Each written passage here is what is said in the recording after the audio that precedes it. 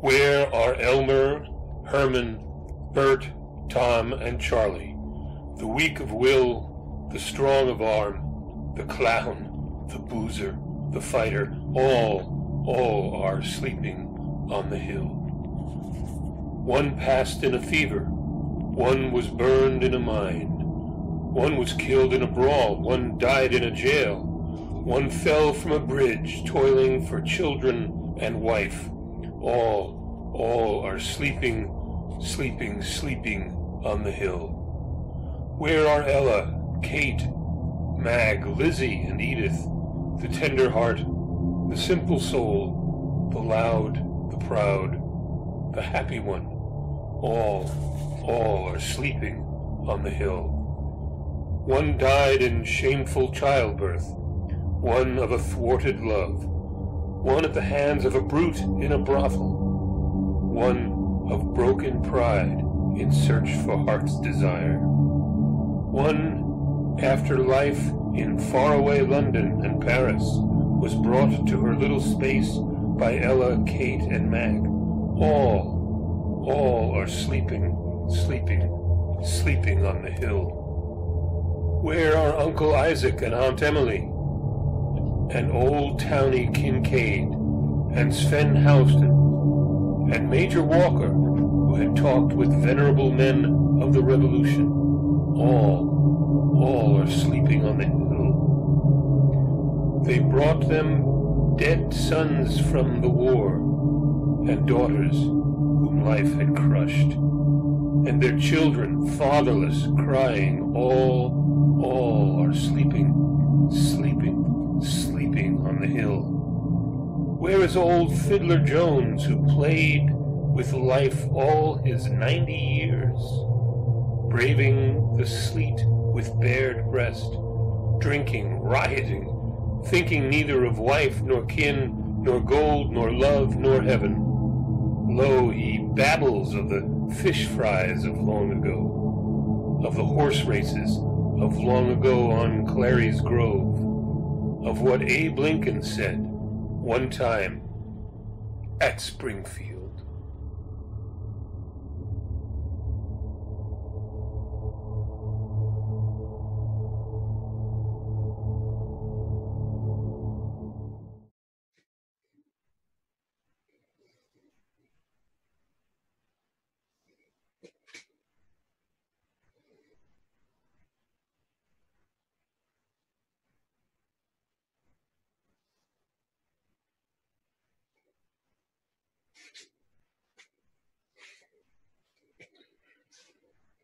When I first came to Spoon River, I did not know whether what they told me was true or false.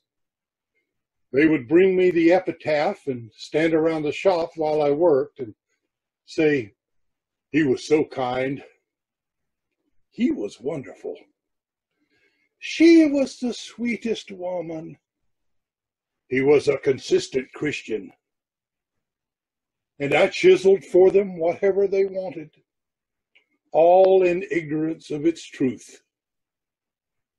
But later, as I lived among the people here, I knew how near to the life were the epitaphs that were ordered for them as they died. But still I chiseled whatever they paid me to chisel and made myself party to the false chronicles of the stones even as the historian does, who writes without knowing the truth, or because he is influenced to, hide it.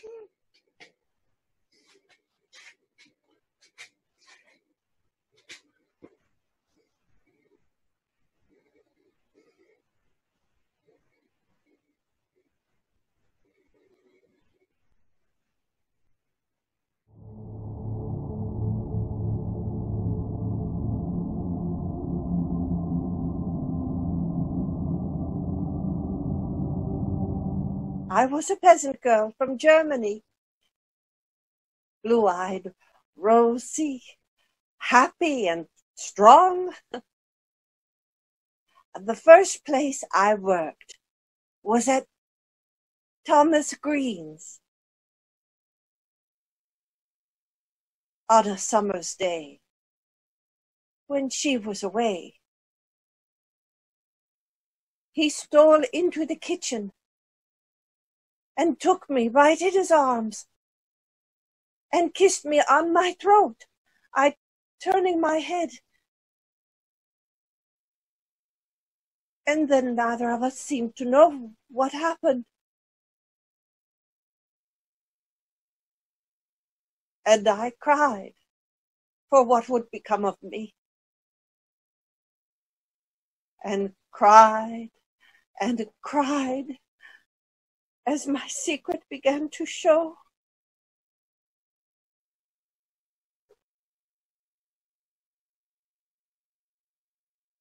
One day, Mrs. Greene said she understood and would make no trouble for me. And being childless,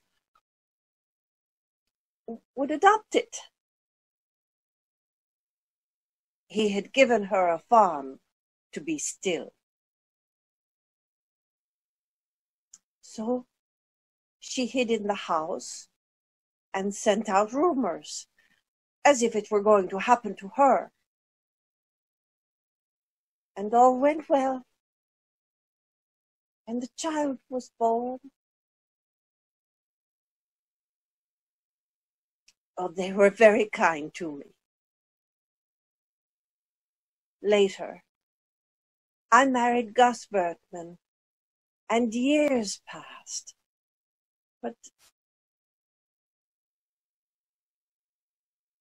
at political rallies, when sitters by thought I was crying at the eloquence of Hamilton Greene,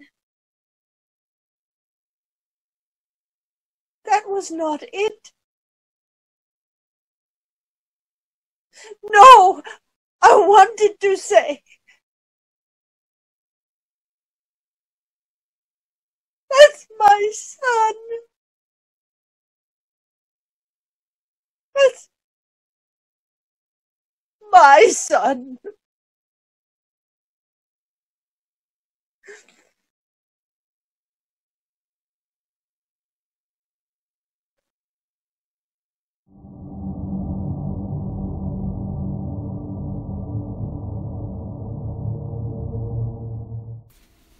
I was the only child of Frances Harris of Virginia and Thomas Greene of Kentucky, of valiant and honorable blood both.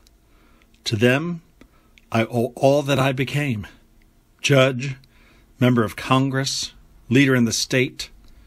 From my mother I inherited vivacity, fancy, language. From my father, will, judgment, logic. All honor to them for what service I was to the people.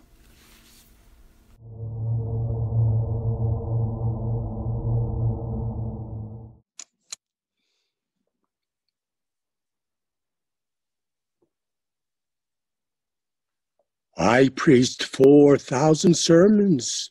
I conducted 40 revivals and baptized many converts. Yet no deed of mine shines brighter in the memory of the world, and none is treasured more by me. Look how I saved the Blisses from divorce and kept their children free from that disgrace to grow up into moral men and women, happy themselves, a credit to the village.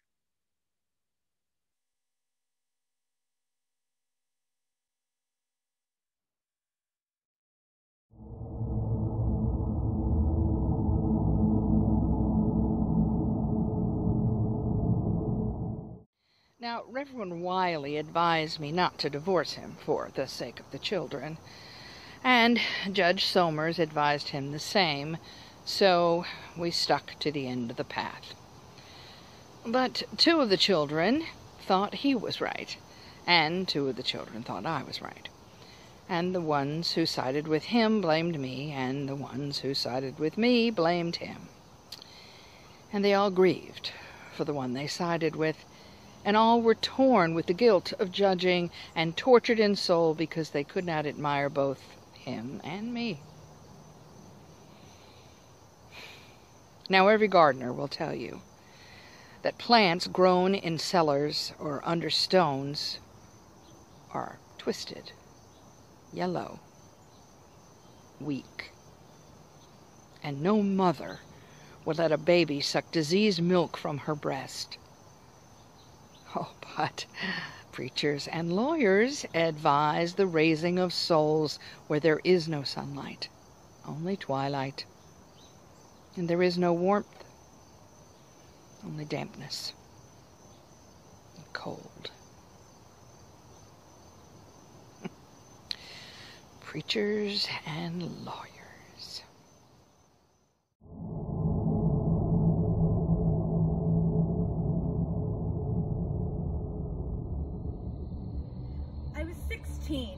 The most terrible dreams and specks before my eyes and nervous weakness and I couldn't remember the books I read, like Frank Drummer, who memorized page after page.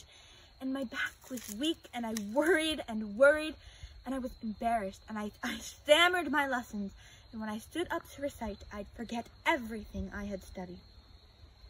Well, then I saw Dr. Weese's advertisement and read everything in print, just as if he had known me, and about the dreams that I couldn't help. So I knew I was marked for an early grave. And I was worried until I got a cough. And then the dreams stopped. And then I slept the sleep without dreams, here on the hill by the river.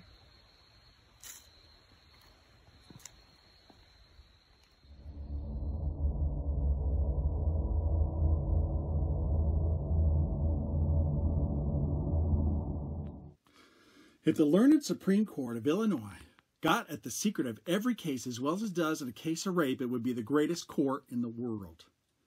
A jury of neighborly mostly, with Butch Weldy as foreman, found me guilty in 10 minutes and two ballots on a case like this. Richard Bandle and I had trouble with a fence, and my wife and Mrs. Bandle quarreled as to whether Ipava was a finer town than Table Grove. I woke one morning, and the love of God brimming over in my heart, and I went to see Richard to settle a fence, the Spirit of Jesus Christ. I knocked on the door, and his wife opened. She smiled and asked me in. I entered.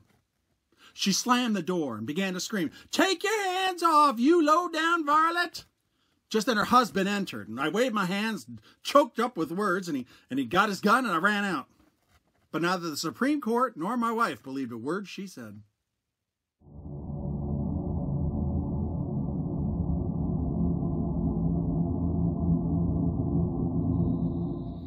Don't you see this was the way of it? We bought the farm with what he inherited, and his brothers and sisters accused him of poisoning his father's mind against the rest of them. And we never had any peace with our treasure. The murrain took the cattle, and the crops failed, and lightning struck the granary. So we mortgaged the farm to keep going. And he grew silent and was worried all the time. And then some of the neighbors refused to speak to us, taking sides with his brothers and sisters, and I had no place to turn. As one may say to himself at an earlier time in life, no matter, so-and-so is my friend, or I could shake this off with a little trip to Decatur. And then the dreadfulest of smells infested the rooms. So I set fire to the beds and the old witch house went up in a roar of a flame while I danced in the yard with waving arms while he wept like a freezing steer.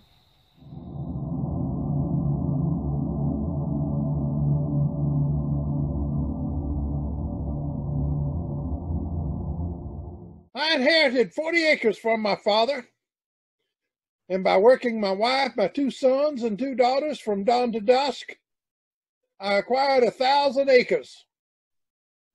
But not content, wishing to own 2,000 acres, I bustled through the years with axe and plow, toiling, denying myself, my wife, my sons, and my daughters. Now, Squire Higbee wrongs me to say that I died from smoking Red Eagle cigars,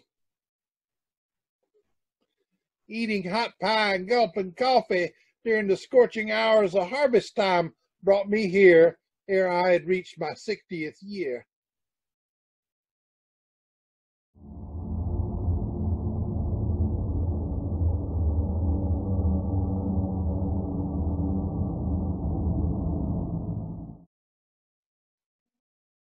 I went to the dances at Chandlerville and played snap out at Winchester. Time, we changed partners, driving home in the moonlight of middle June. And then I found Davis. We were married and lived together for 75 years, enjoying, working, raising the 12 children, eight of whom we lost ere I reached the age of 60.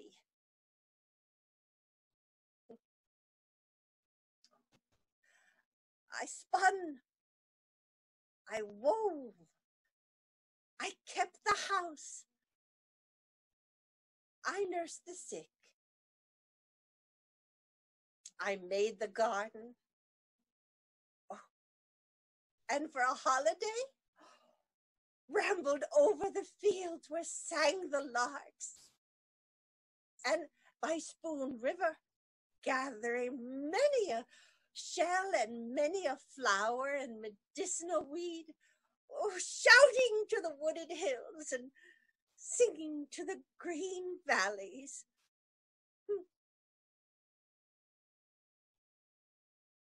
At 96, I had lived enough. Well, that is all. And passed to a sweet repose.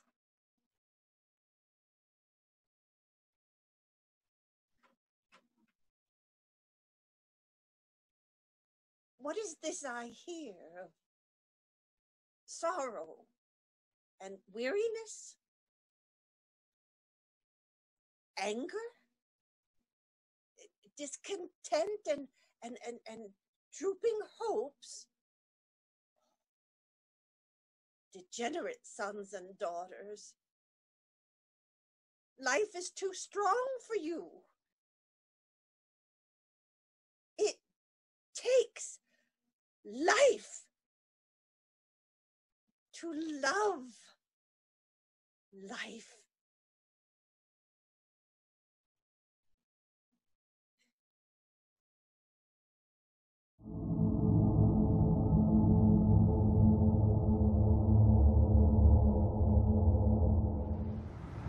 I have long studied the marble that was etched for me. A boat with unfurled sail at rest in a harbor. In truth, it represents not my destination, but my life. For love was offered me, but I shrank from its disillusionment. Sorrow came to my door, but I was afraid. Ambition called to me, but I dreaded the chances. Yet all the while, I hungered for meaning in my life. And now I know that we must lift the sails and catch the winds of destiny wherever they drive the boat. To find meaning in one's life may end in madness, but life without meaning is the torture of restlessness and vague desire. Is a boat, longing for the sea, but is afraid.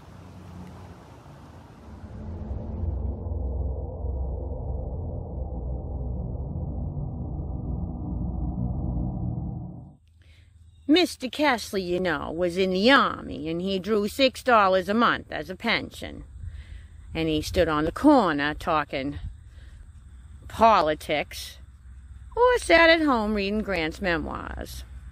I supported the family by washing, learning the secrets of all the people, from their counterpanes and curtains, shirts and skirts. But things that are new grow old at length, and they're replaced with better, or none at all. People are prospering, or falling back. I... Rents and patches widen with time, and no thread or needle can pace decay.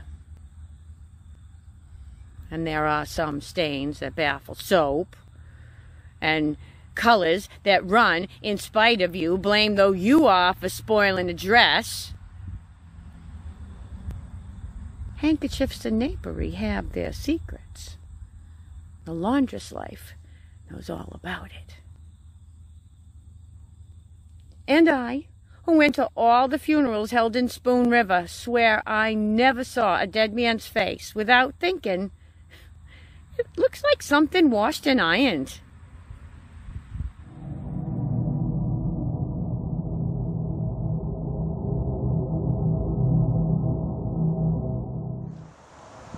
I said, when they handed my diploma, I said, I will be good and wise and brave and helpful to others. I said, I will carry the Christian creed into the practice of medicine. Somehow, the world and other doctors know what's in your heart. The moment you make this high-souled resolution, the way of it is, they starve you out. No one comes to you poor. And you find out too late that being a doctor is just a way of making a living.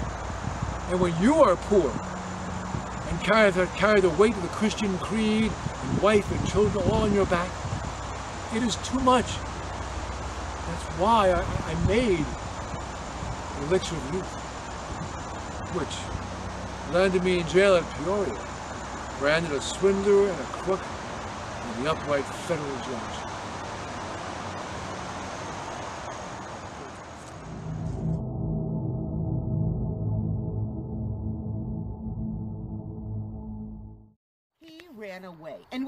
For a year.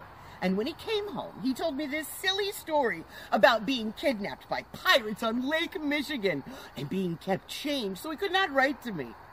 I pretended to believe him, although I knew very well what he was doing. I knew he met the milliner, Mrs. Williams, now and then, when she would go to the city to buy goods, as she said. But a promise is a promise. And a marriage is a marriage. And out of respect for my own character, I refuse to be drawn into a divorce by a scheme of a husband who has merely grown tired of his marital vow and duty.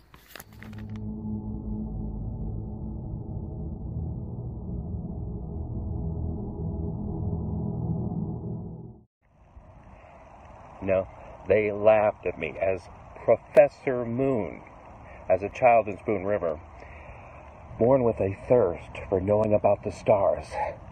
They cheered when I spoke of the lunar mountains and the thrilling heat and cold and the uh, ebon valleys by the silver peaks and Spica a quadrillion miles away and the littlest a man.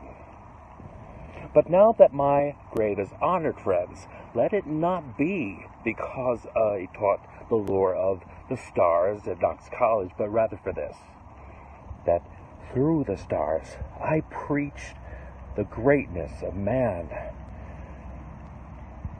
who nonetheless was a part of the scheme of things for the distance of Spica or the spiral nebulae, nor any the less a part of the question of what the drama means.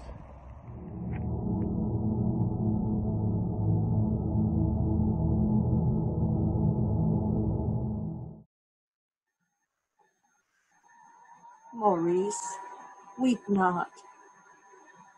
I am not here under this pine tree. The balmy air of spring whispers through the sweet grass. The stars sparkle. The whippoorwill calls. But thou grievest, while my soul lies rapturous in the blessed nirvana of eternal light. Go to the good heart that is my husband, who broods about what he calls our guilty love. Tell him that my love for you, no less than my love for him, wrought out my destiny. That through the flesh I won spirit, and through spirit, peace. There is no marriage in heaven, but there is love.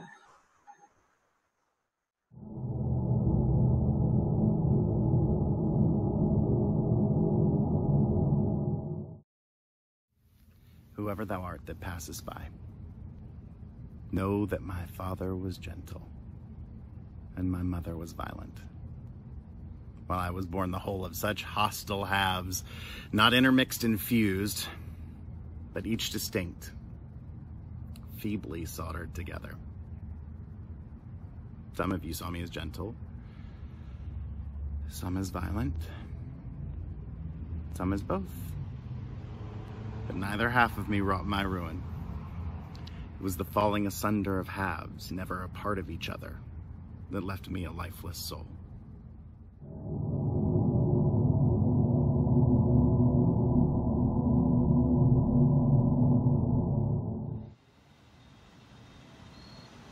Of me, unworthy and unknown, the vibrations of deathless music.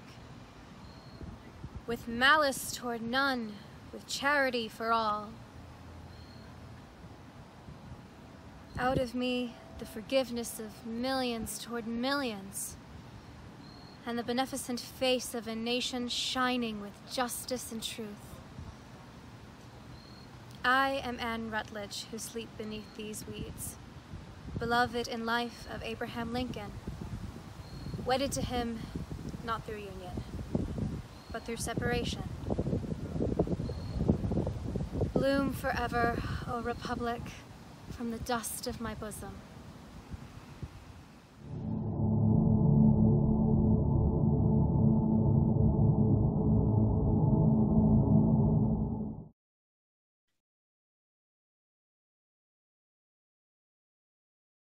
I was not beloved of the villagers, but all because I spoke my mind and met those who transgressed against me with plain remonstrance, hiding, nor nurturing, nor secret griefs, nor grudges. That act of the Spartan boy is greatly praised, who hid the wolf under his cloak, letting it devour him uncomplainingly it is braver, I think, to snatch the wolf forth and fight him openly, even in the street amid dust and howls of pain.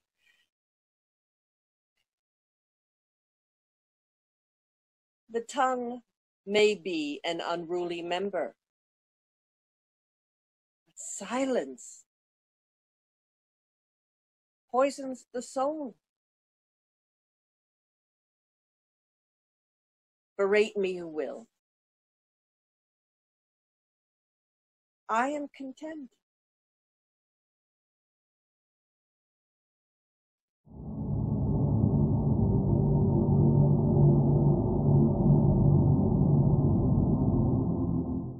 How many times in the 20 years that I was your leader, Friends of Spoon River, did you neglect the convention or caucus and leave on my hands the burden of guarding and saving the people's cause. Some of you were ill, or your grandmother was ill, or you drank too much and fell asleep, or you said, He is our leader. All will be well. He fights for us. We need do nothing but follow. But oh, how you cursed me when I fell. How you cursed and said I betrayed you for leaving the caucus room for a moment when the people's enemy assembled therein waited for their chance to destroy the sacred rights of the people. You common rabble. I left the caucus to go to the urinal.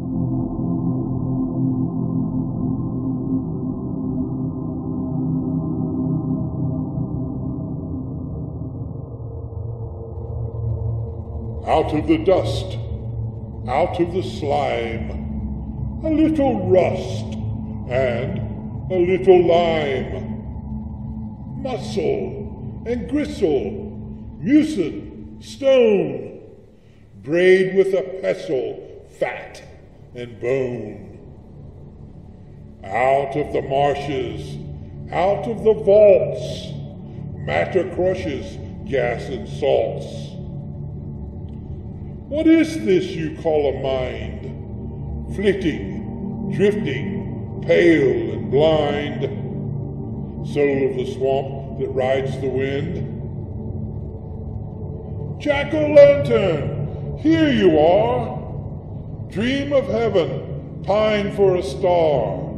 Chase your brothers to and fro. Back to the swamp, at last you'll go.